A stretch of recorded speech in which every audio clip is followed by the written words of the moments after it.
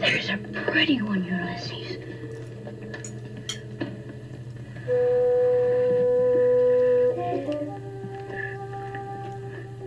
There it is. Hello, BookTube. I'm Shawn the Book Maniac. Welcome back to my channel. Here I am with another Friday Reads. This one is indoors. The weather is cool and overcast. I don't think there's any danger of rain, but my stack of books was so tall, uh, stuff I want to talk about today, that I just couldn't summon up the wherewithal to lug them and the tripods and this and that out into the wild. So uh, here we are indoors. Um, I'm in a great mood. I've had a great reading week. Really, my my main personal news is I have another new blouse to debut, and this one I think is quite lovely. What do you think? Not going to go on and on about it, but I have to at least draw your attention to it. Came in the mail this week. Also from Old Navy, it was like $18. So yay! We're still waiting on clarification about how much of a delay there will be for Kenji's arrival. It could be anywhere from no delay, but I, know, I think that's pretty unrealistic, to uh, the end of the year. If it gets beyond the end of the year, I'm going to be crushed. But if he's here for Christmas, I will be absolutely delighted. I'm still waiting for the bureaucratic people and the legal people to butt heads or put their heads together or whatever it is they need to do to sort all that out. So stay tuned. So the biggest news I have, I'm not sure that it's news, well it is news on my channel, is that I have finally figured out what to do with Patreon. So Patreon has gotten a major reboot in different stages, and I am going to make a full video that'll go on my channel and go on my Patreon to introduce Shawn the Bookmaniac's Patreon 2.0. But I'll just tell you about the major change that's just been voted on this week. I'm a little bit slow on the uptake. And so I moved my book hauls several months ago. I moved my book hauls over onto Patreon. I thought it might lure some of you over there. And it lured a few, I think, maybe. But what I've realized is people weren't watching. Not very many people were watching them or commenting on them. And as somebody, as a content provider, I need lots of comments. And my book haul videos on uh, on my booktube channel got tons of hits and lots of comments, and it was really fun. And so I just started to wonder what's going on here because anything that any content that I've put on, especially video content or audio content, not a lot of reaction on Patreon. And finally, and especially talking to one patron, because I taped a bite-sized book chat with her the other day, she said, and it was really valuable feedback, she said, I liked your book hauls better on, YouTube because I could put them on a playlist and I could curl up on the couch and watch as many of them as I wanted with a bowl of popcorn or whatever. And on Patreon, there's no way to load up a playlist. You got to push play and you got to find them because there's no it's, there's no no easy way to. It's just not a the most navigable um, website. So I think that and the feedback that I've gotten from patrons at other tiers is Shawn, we don't really need, we don't really want extra content from you on Patreon. We just want to support what you're doing already. And so I did another poll just to make sure. And what I've concluded is, from the results of that poll and just by my own inkling, is that my patrons are not looking for more content, but they might enjoy more access, more socializing with me, more interaction with me. So that's the rebooted Patreon is all about everybody getting a piece of me. So starting next, you know, just a couple weeks, we're going to have the very first book brunch, once a month, monthly brunch, 60 minute chit chat on Zoom about all things bookish for any patron at any level. That's going to be the main benefit for the basic tier, and of course everybody at the higher tiers is can take part as well. So I'm really excited. I don't know how many people will show up on a monthly basis, but let's I want to try it, and people seemed much more excited about it than book hauls. So that's the short announcement about Patreon. It's going to become much more interactive and less content based. And so that also means my book hauls are coming back to BookTube. I'm excited about that. And like I say, I, as a content provider, I need, I thrive on comments and I'm getting better at answering them. I'm still not a prompt answerer, but I am getting back to my usual level of 95%, answering 95% of them. And I love getting comments. So yeah, there's win-win. The first one or two book hauls, they're going to be a little bit of a mishmash of stuff that I had pre-recorded that I ultimately never did post on Patreon. And so they're really cut and paste and this and that. But I could probably do, if I had the time and energy, I could probably put out four book haul videos, bang, bang, bang, bang, with all the books that I have in the pipeline that have recently come into the house. So stay tuned for book hauls.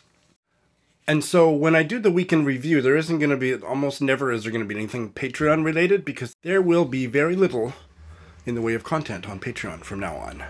So I will kind of shout it out in, in other ways, including right now that I'm always happy to get more patrons to support what I'm doing here. Yeah. All right, without further ado, here's the weekend review. Here is a book that I haven't heard anything about on BookTube, but I may not have been paying attention, but I've heard a whole heck of a lot on bookish Twitter, and that is the German novel or novella Marzahn Mon Amour by Katja Oskamp, translated from the German by Jo Heinrich. It's a Peirene Press book. And I thought it was really quite affecting and well written. And now that I know more about Danuta Gleed's story and how desperately ill she was as she did her best to finish this these stories, I would be willing to judge them and experience them on a different level. I didn't know all that when I read the story yesterday, and I thought it was a very fine story, but I found the introduction where they just talked about her grit, her determination, and how just terribly unwell she was at the end of her life. And the labor of love for these two Canadian writers and creative writing instructors took it on to get this book into print, it, it moves me. I, I'm feeling off for Clempus. I'm telling you about it. So, yeah, this is one I'm going to read for all of those reasons. All right. I have a bail to talk to you about. I have three books that I finished, but only one of which I'm at liberty to talk about at this moment. Others are for other collaborations, so you'll just have to wait a few more days. And I think I have four, maybe five books that I, I'm well enough into to check in, and that, that will be the meat of this Friday Reads is the books that I'm checking in on midstream. If you missed that Friday Reads, I have tweaked my Friday Reads. I no longer necessarily talk about the books that I told you last week that I was going to be starting, because inevitably I've only read 10 pages of them and it's just not enough to check in on. And so now that part of my Friday Reads is about books that I'm at least 40 to 50 pages into that I have something to say about. So that's now the middle chunk of the Friday Reads. I bailed on this Maori novel, The Imaginary Lives of James Poneke by Tina Makereti. I talked last week about the fact that it was the diction was the uh, antiquated diction probably was authentic for how a British educated Maori kid would speak English in the whenever this was the late 19th century or something. But I didn't like it. I didn't respond to it. It kept me a little bit distant from the story. But much more fatally, the character development was almost non existent. These characters did not come alive for me, so it was an important story that was told badly because the characters were so paper thin. So, this was supposed to be the focus of a discussion that's being taped tomorrow on the Bookcast Club, but I was invited as a guest and I gave them a short list of five books I'd be interested in reading, and this is the one that was chosen, and then we didn't like it. So we're going to do something else. I'll keep you in suspense about what we're doing instead, but we're not talking about this because it didn't warrant our time and energy. Of the three that I finished, I can talk for a few minutes about this one Christie Malry's own double entry by B.S. Johnson. It was his last novel, or maybe penultimate novel. He committed suicide at the age of 40 in 1973. This was a buddy read with Jo Smith, and we enjoyed it. I think Jo liked it a bit better than I did. I give it four stars. In other words, it was the kind of book that, if I hadn't been doing it as a buddy read, would I have finished it? I don't know. No, I, I enjoyed it, but it had no emotional um, impact on me, or I didn't get invested in the story on that level. But it was amusing and clever, and there was humor that maybe went over my head that Jo appreciated more deeply because she's a Brit but it was funny, and I talked about it, I think, just last week. I was glad that it was only 180 pages. I'm glad I read it.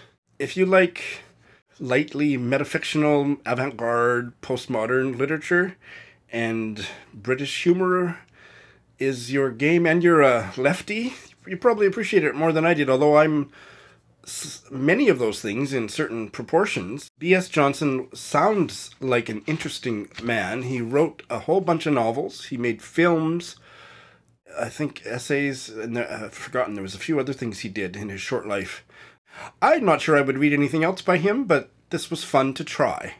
Uh, as I said last week, the premise is the titular protagonist is an accountant and he feels hard done by by the world. And so he starts using the double entry system that if something is perpetrated upon him he must seek his revenge in some way. So it's kind of a, a comical pomo revenge story. Not boring. It's gonna kill me not to talk about this but i'm doing a pseudo buddy read zoom chat with Nemeka from Nigeria about this debut novel on Sunday, and I hope to have it for you edited and posted within a, a, week or two. This debut queer Nigerian novel, and then he sang a lullaby. I just went back to listen to the recording that Nemeka kindly sent me through Instagram to get the author's pronunciation. Ani Kayode Somtochukwu. I, I just dying to tell you all about it, but just wait a few more days. If the gleam in my eye is a spoiler, so be it.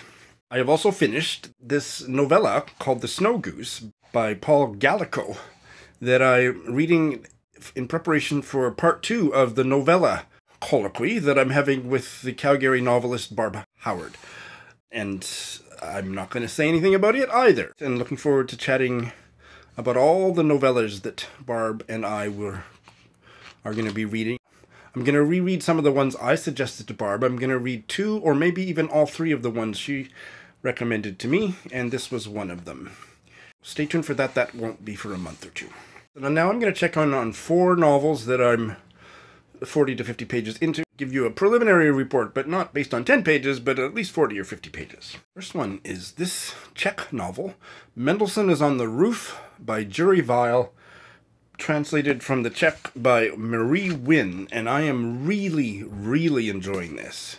I've read the first four chapters up to page 49. This is set during the Nazi occupation of Czechoslovakia.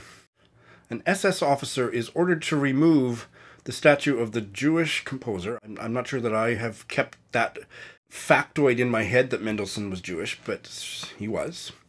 And the Nazi powers that be ordered a statue of him removed from the roof of a certain theater or something. The stupid Nazi soldiers get up there and there's no names on any of these statues, so they don't know which one's Mendelssohn, and so then they have to go and get help from Jewish scholars that they are have all rounded up and barricaded in a small little area of Prague. So you can tell it's a darkly comic novel. It's really historically accurate because I've been checking everything. The head Nazi honcho jerk is not only a real figure, but he was really one of the architects of the Holocaust. Heydrich. There's a lot about him in both of the books by Daša Drndić that I've read. He was one of the worst of the worst of the Nazis in terms of his role in implementing the Holocaust. And he is, at this stage of his career, the, the top dog in Prague. There's another character in chapter 3, Rudolph, and he's a doctor in the current timeline, 1940s. He's wasting away in hospital in Prague of a rare disease that sounds quite a bit like Lou Gehrig's disease, but I don't know if that's what it is. So he's just becoming more and more paralyzed and immobile, but has all of his faculties. And then the earlier timeline is he and another guy taking a long trip along the rivers. And I don't know what it's all about, and I don't know how he is connected to the other story, but I'm assuming he's going to be a major character. And one of his concerns, as he is immobilized and probably not long for this world in this hospital, is that he is responsible for the care of a young niece and nephew whose parents were killed and they may have been Jews murdered by the Nazis. That part isn't clear to me yet, but he's responsible for them and he's not going to be around much longer. And what is he going to do? And I think all of that is going to get threaded through the other part of the story, and I'm just absolutely fascinated. This is totally gripping. It had been sitting on my shelf for years, and I'm so glad that because of War on Booktube, that I have finally gotten to it. Jiří Weil, born in 1900 in Prague, one of the best known writers in Central Europe in the, in the 30s and then in the post war years. In 1942, he escaped transportation to the death camps by faking his own death. I think the next thing I want to read is not another book by him, but a book about him. Holy smokes. I am now a ways into the debut novel, No Bones, by Anna Burns. Of course, she's the author of Milkman. I have read 50 pages of this, and it's no, it's not nearly as good as Milkman, and the style is very different, but it's good. I'm engaged by it and fascinated to go back to the beginning of her oeuvre to see how her style has developed because the style in Milkman, the style and the tone were so incredibly unique.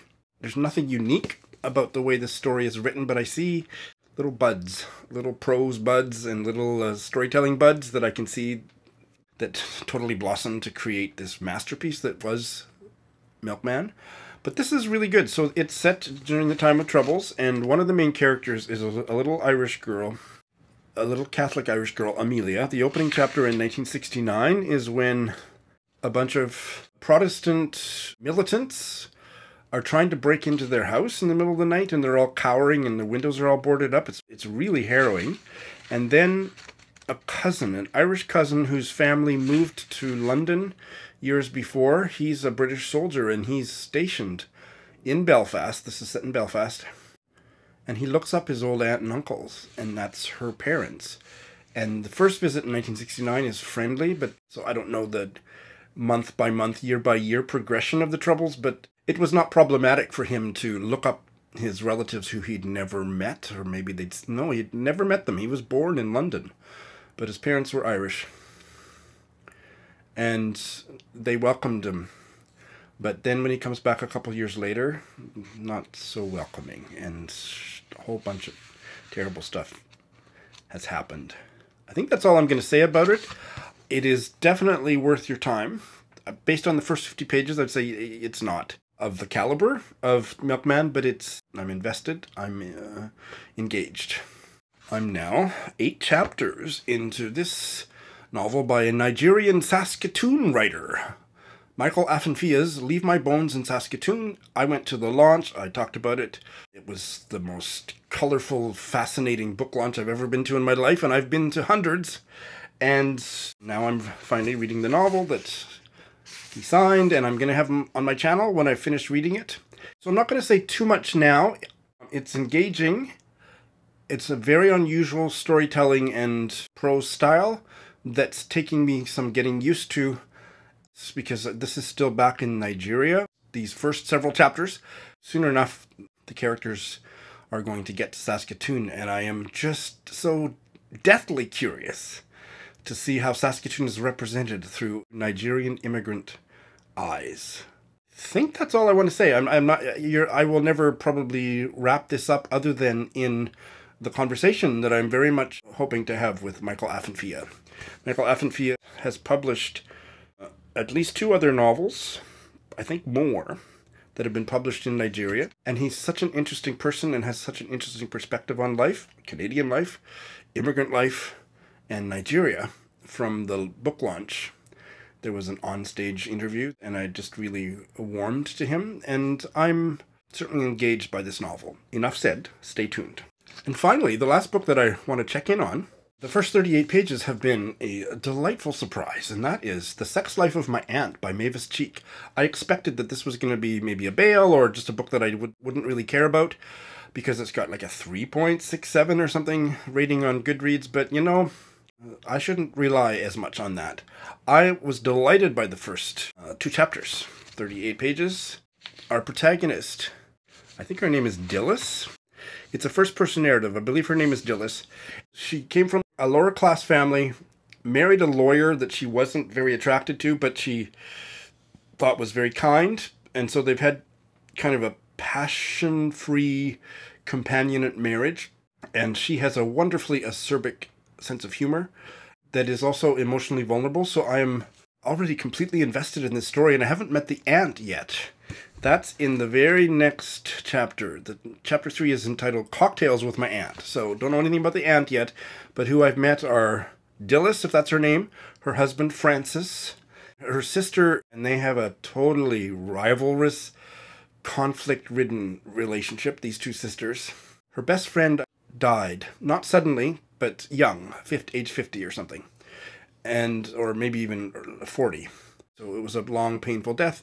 And coming home from her funeral, in tears at the train station, a man offers her a handkerchief and they start up a conversation. And Dilys is aroused by him. That's all that's happened. She comes home. Her husband would have gone to the funeral, but he was sick in bed with flu.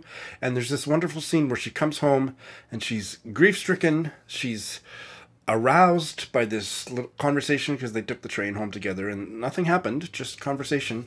But she was so attracted to this guy, and she knows that this is because she's totally grief stricken, and it's much more pleasant to focus on an attractive stranger than it is the fact that she's lost her best friend.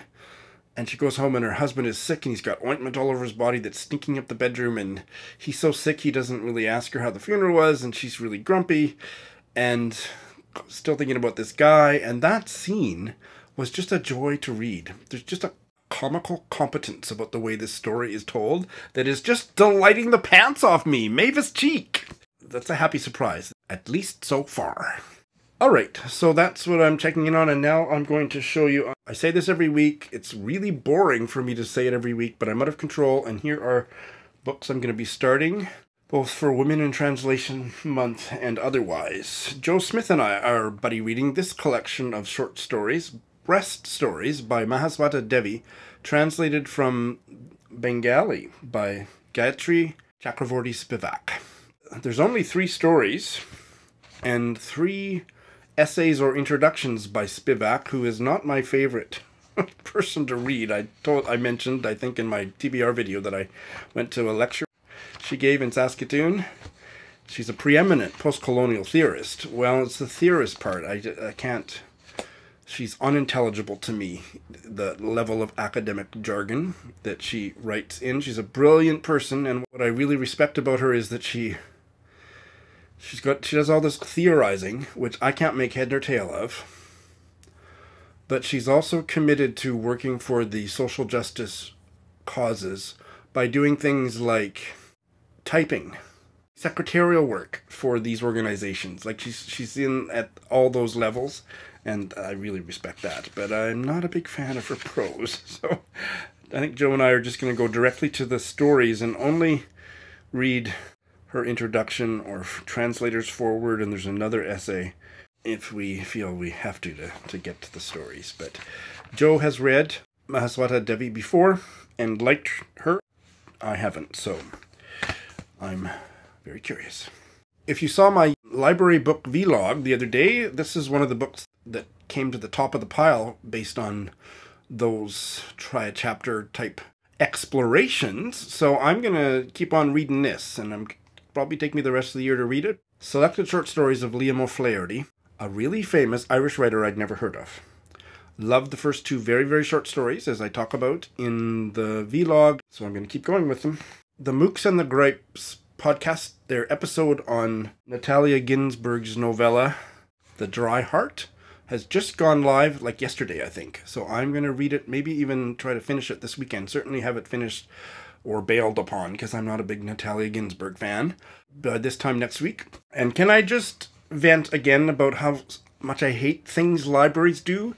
Look at that label. There's the spine label, right on the title. Ugh, that just drives me nuts. I couldn't stand Natalia Ginzburg's family lexicon and bailed.